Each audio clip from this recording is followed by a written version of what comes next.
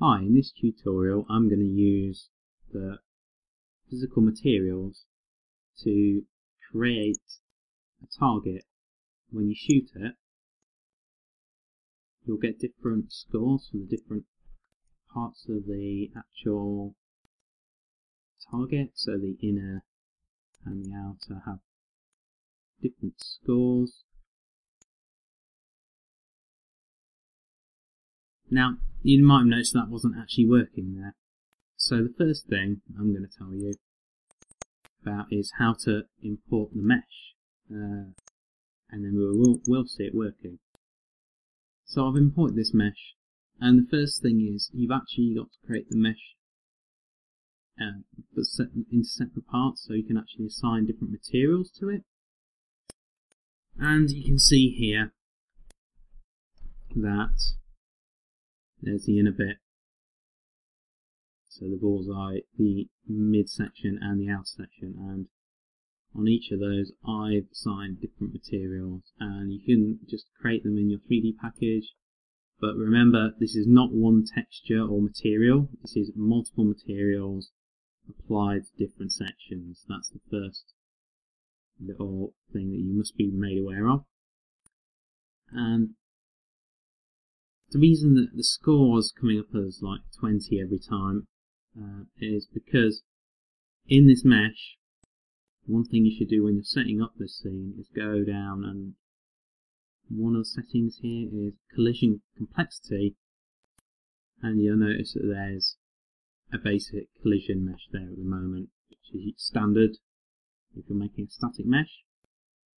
Change this to use complex collision as simple and even though your collision will disappear, don't worry about that, just save it. That is now set up so this will actually work correctly.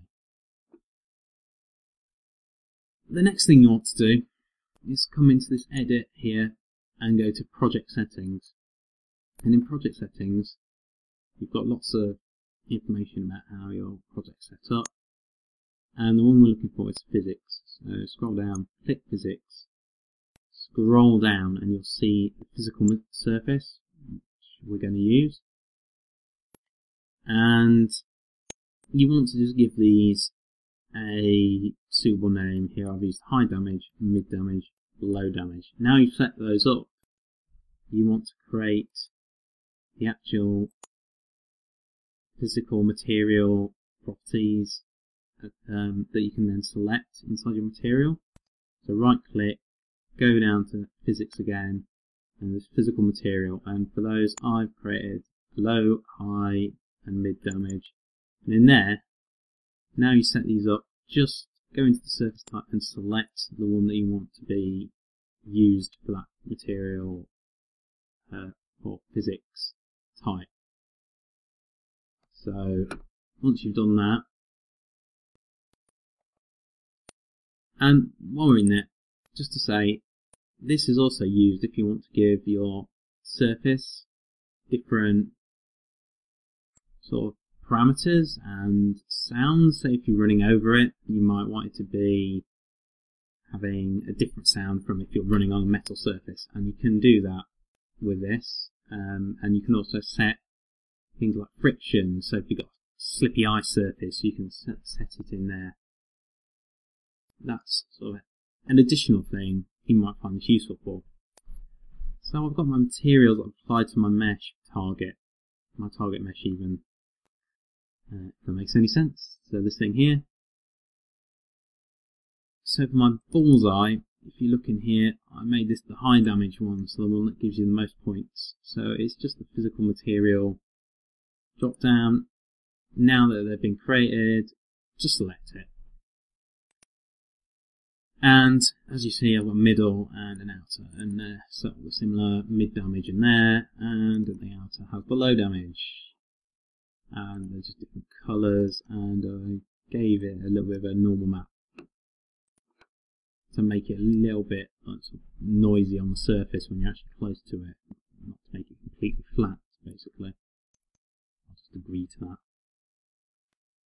I've just imported this project from a different computer, so that's why it's playing a little bit, but it all is still working. So when we set up that uh, setting on the mesh earlier, I said that's what was giving us different scores. If we go into it now, you should be able to see this.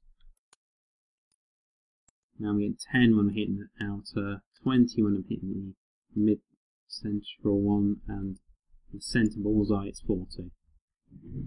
I'm not just going to go through how to do the scoring system. All I'm just going to do is show you how effectively I set that up in brief.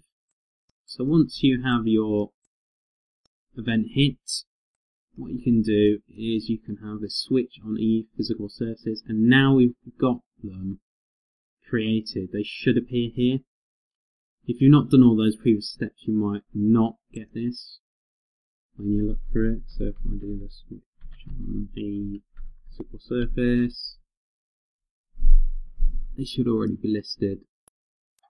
It might be that they're hidden, you just need to click the down arrow, but they should definitely be in there if you've created them. If you, if you don't see them in this list, these lists at all, you've forgotten to do one of those previous steps. We've done them incorrectly anyway. So this is just easy now because you can select the damage types that you created yourself.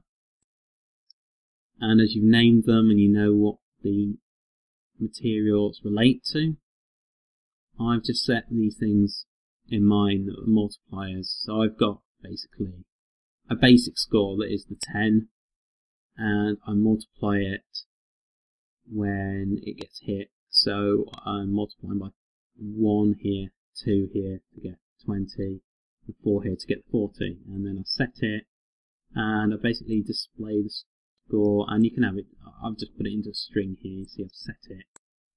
And it comes out, and you can just print it to a string, but I've also got that effect where it's actually printing the number when you're hitting the surface of the target.